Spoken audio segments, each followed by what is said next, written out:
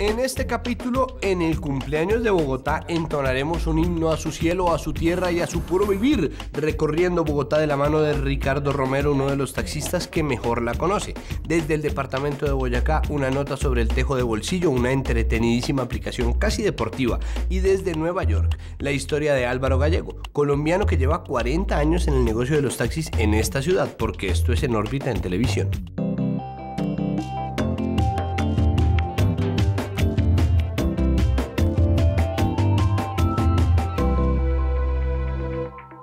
Como somos demasiado brutos como para ser Monty Python y demasiado inteligentes como para tener un programa de chismes sobre farándula, tenemos aquí en órbita esta franja cross media de información sobre entretenimiento, cultura, cosas de aquí, de allá, de acullá que funciona en televisión, en radio y en www.enorbita.tv, que pertenece al sistema de medios públicos Señal Económica que empieza aquí, ya, ahora. Bogotá fue fundada un 11 de abril de 1527, pero fue fundada oficialmente el 6 de agosto de 1538 porque en esa época la burocracia era incluso más lenta que ahora. Imagínense cuando todo toca en barco y la capitán queda en otro lado, bueno, mejor dicho, complicado. De manera que nosotros queremos celebrarle el cumpleaños a Bogotá, que oficialmente es hoy, 476 años, la pendejadita de 476 años, que no es cualquier cosa. Nosotros nos buscamos un taxista, porque los taxistas son los que mejor conocen las ciudades, al igual que los raperos, y este taxista nos llevó a sus tres lugares predilectos de la ciudad de Bogotá, que hoy está de cumpleaños. ¡Feliz cumpleaños, Chática! Nosotros queremos hacer un de visita a toda la ciudad, a tres lugares emblemáticos que escoja una de las personas que más conoce esta ciudad, es decir, un taxista. Buenas, ¿cómo le va? Bien, sí, señor. ¿Le molestaría si nos le subimos y nos hace usted un recorrido por tres lugares, sus tres lugares favoritos de Bogotá? ¿Sí? Sí, bien, claro. Bueno, ¿cómo es su nombre? Ricardo.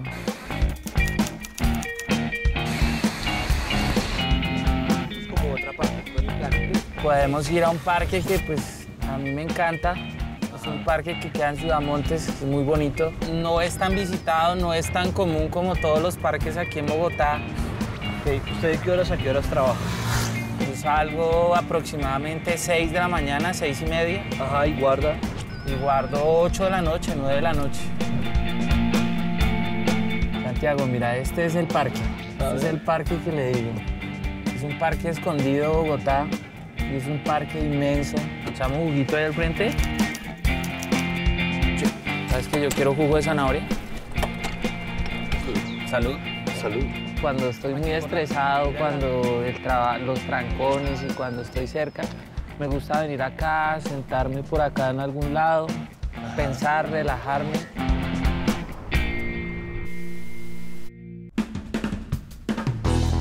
Vamos ahora para, para la Candelaria. Vamos a la Candelaria, sí. Porque ir al centro, pues para muchos es, es harto, es... pero hay mucha gente que disfruta el centro, disfruta su Candelaria, se ve mucho extranjero, es Sí. un barrio que tiene mucha magia.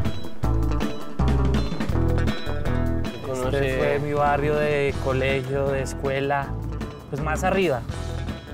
Un barrio que se llama El Rocío. Y ahí vive mi mamá todavía. Mm, entonces usted viene a visitar cada tanto. Sí, sí, sí, sí, vengo muy seguido, vengo casi todos los días porque me gusta recoger a mi mamá del trabajo, traerla. Y aquí era donde me sacaban a hacer educación física. Aquí, Ahí en la cancha de la Concordia. alto cardio con, ese, con esta subida. Sí.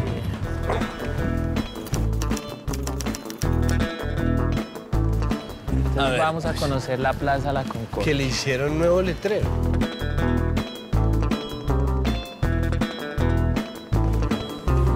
Bueno, Santiago, esta es una de las cosas típicas de la Candelaria. Pues- Acá venden chicha, cerveza. ¿Te le gusta la chicha? ¿Usted es bueno para la chicha? No, no, no. No, yo en no, cambio sí soy bueno para la chicha. Sí. Sí. ¿Por qué va tan lejos el taxi? Para caminar un poquito, para mirar. Ah, caminar un poco, ¿no? Está bueno. Todo el mundo anda enrabonado a todo momento. Pero, pero es una ciudad agradable y la mayoría de gente somos buenos. Aquí es el mirador de la calera. Y a pocos minutos está ya uno fuera de Bogotá. Las arepitas las podemos conseguir más arriba. Arepas, arepas. Es que está bien. Buenas, Hola, sí, señora. Quiero decir, ¿qué ¿cómo más? ¿Cómo le va? Bien, bien, sí, señor. A la orden. A mí me regaló una arepita de chocolate, por favor. Ahí también agua panela con queso. ¿Qué tal la arepita? Buena. Más igual. ¿Todo Te presento, este es el Bogotá que trabajo. Este es el Bogotá que ando. ¿Qué le regalaría usted a Bogotá? Un buen transporte público. ¿Sí? Sí. ¿Ya que tanto quiere Bogotá, vamos a Bogotá? Vamos a Bogotá. Listo. Carrera. El, el último que llegue es presentador de ¿Se va farándula. primero?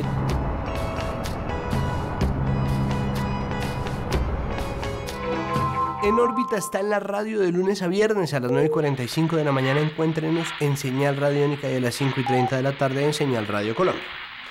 El tejo es nuestro deporte nacional, de eso no cabe duda. Desde los días en que volaba el disco de oro imitando el movimiento del sol en el firmamenta, gracias a la corte del cacique Turme que hasta estos días en que la gente simplemente se reúne, se toma unas amargas y bota el disco que pesa un poco más de una libra y se divierte y se divierte, pero hay gente a la que todavía le parece que es fo, hay gente que es demasiado perezosa, demasiado débil o hay gente que ama tanto el tejo que quiere llevarlo consigo a todas partes. Es por eso que nació Tejo Pro 13 una aplicación para dispositivos móviles inventada, ingeniada por un grupo de boyacenses que quieren que el tejo se expanda y se vuelva más, más aún una moda.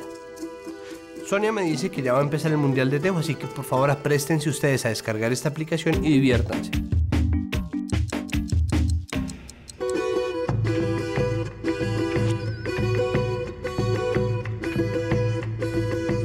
Hace unos años eh, nos reunimos un grupo de amigos boyacenses, todos de, acá de Tunja, eh, y quisimos participar en un concurso de una empresa estadounidense que decidió eh, montar, digamos un concurso acá en Colombia para hacer una aplicación en Facebook.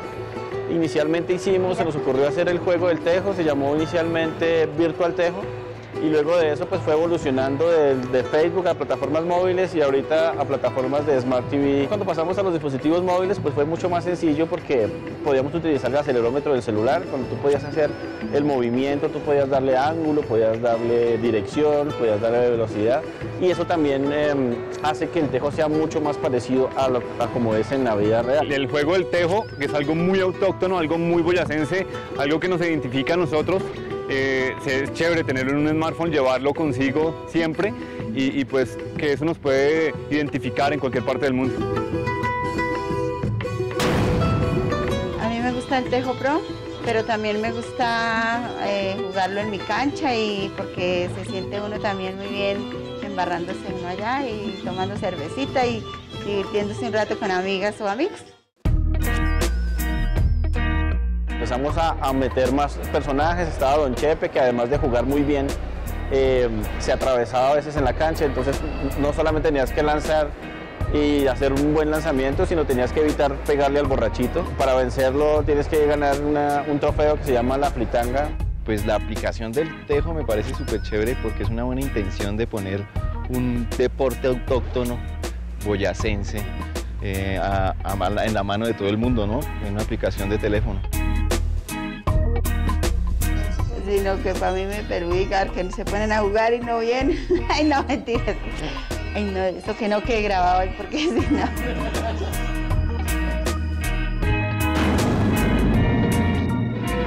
Álvaro Gallego es bogotano y lleva 40 años trabajando en el negocio de los taxis de Nueva York. De manera que él es quien tiene un museo en su casa lleno de taxímetros, placas y otros accesorios relacionados con los taxis y además asesora a películas de época sobre cómo eran los taxis en una u otra década del siglo XX o de este siglo, mejor dicho.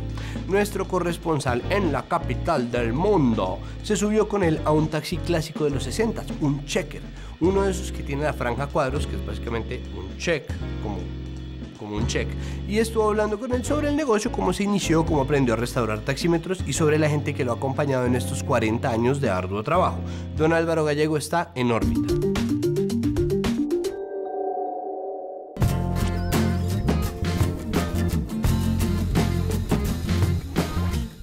Mi nombre es Álvaro Gallego, uh, soy uh, taximetrista de profesión monté mi propia empresa en el año 75 y desde ese momento estoy en este negocio.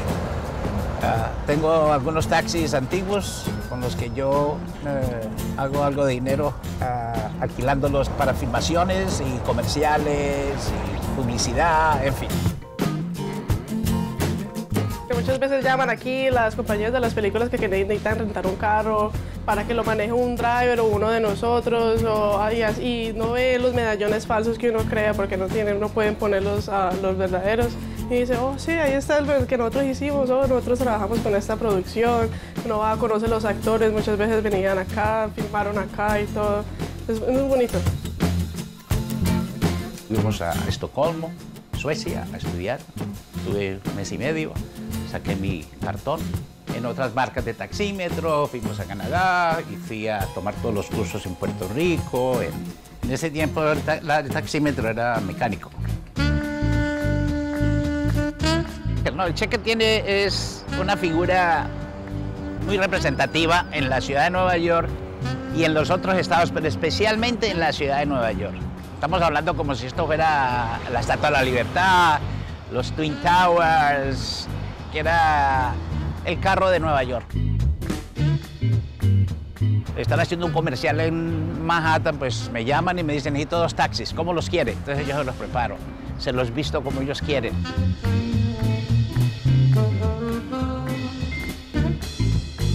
Le rendimos tributo al taxista, le rendimos tributo a la historia,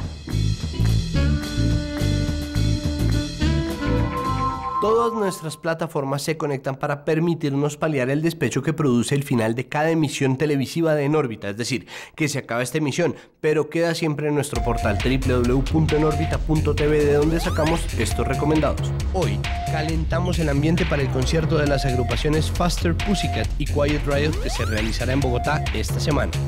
Y les presentamos el nuevo video del cantante colombiano Esteman junto a la mexicana Carla Morrison. La canción se llama Adelante. Desde niño, digamos que siempre sentí como que el segundo lugar donde me sentía más cómodo, pues aparte, digamos, de obviamente mi casa y pues estar como con, los seres con los que me rodean, pues es un escenario, ¿no? Como que siento que el escenario es como mi segunda casa. Y el escenario no solamente visto en como un lugar donde pues, un cantante se pone a cantar, sino un lugar donde se reúnen diferentes artes, ¿no? No te metas a mi Facebook